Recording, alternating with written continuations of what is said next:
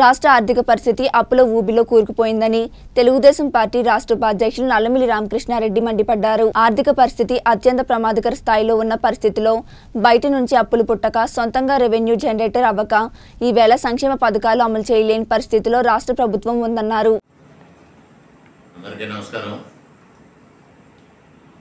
రాష్ట్ర ఆర్థిక పరిస్థితి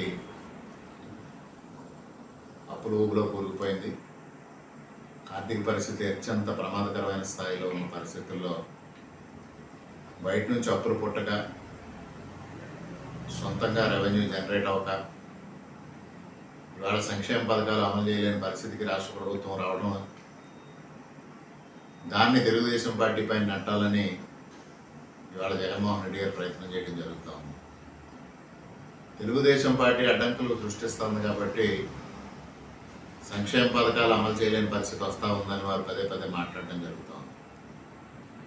ఇది వాస్తవం కాదు. ఇవాళ రాష్ట్ర అప్పులు మితిమీరిపోయిన పరిస్థితి ఏర్పడింది.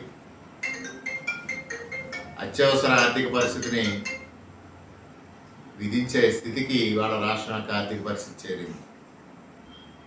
ఇవాళ ఆర్థిక నిపుణులు కానీ కేంద్ర ప్రభుత్వం కానీ రాష్ట్రాన్ని హెచ్చరిస్తున్న పరిస్థితి మనం చూస్తాం ఉన్నాం.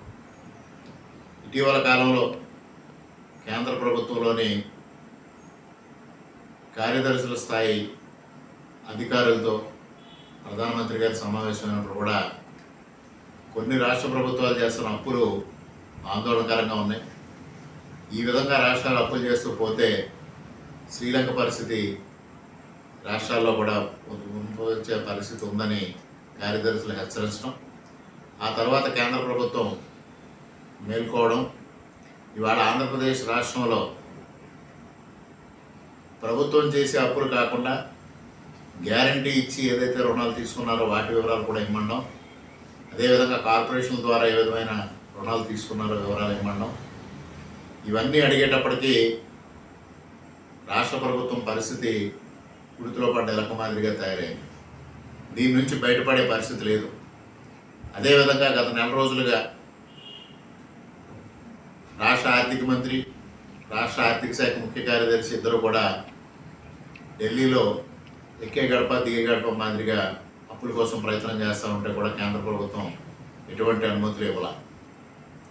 ఈ పరిస్థితిలో రోజు గడవని పరిస్థితి ఏర్పడింది. అంటే ఎక్కడైనా పెట్టుబడి వ్యయం కోసం అప్పులు చేయడం అనేది ఏ ప్రభుత్వమైనా చేసే వెసులుబాటు ఉంది. అదేవిధంగా చేస్తూ ఉంటారు. కానీ రోజువారీ కార్యక్రమాల కోసం జీతభత్యాల కోసం కూడా అప్పులు నాశించే పరిస్థితి ఇవాళ ఆంధ్రప్రదేశ్ రాష్ట్రంలో వచ్చింది. ఇవాళ భారతదేశంలో అత్యంత ఆందోళనకరమైన పరిస్థితుల్లో అప్పులు ప్రమాదకర స్థితికి చేరిన ఐదు రాష్ట్రాల ఆంధ్రప్రదేశ్ రాష్ట్రం మొదటి స్థానంలో ఉన్న పరిస్థితిని కూడా ఇవాళ మనం గమనిస్తా ఉన్నాం.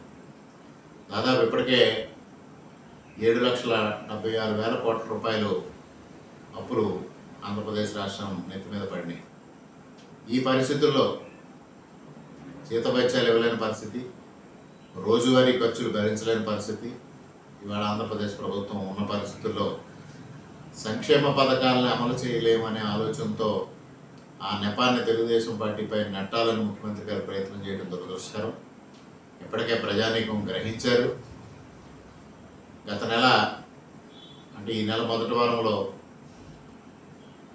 సామాజిక పెన్షన్లు కూడా సరైన సమయంలో అందివ్వలేని పరిస్థితి ఏర్పడింది. ఏడో ఎనిమిదో తారీఖు వరకు కూడా సామాజిక పెన్షన్లు ఇచ్చారు. ఇవాళ జీతాలు పదిహేనో తారీఖు వరకు ఇస్తూ ఉన్నారు. రిటైర్ అయిన ఉద్యోగుల పెన్షన్లు పదిహేనో తారీఖు వరకు ఇవ్వడం జరుగుతూ ఉంది. ఈ పరిస్థితులన్నీ వాస్తవాలు రాష్ట్ర ప్రజానికి గమనించారు.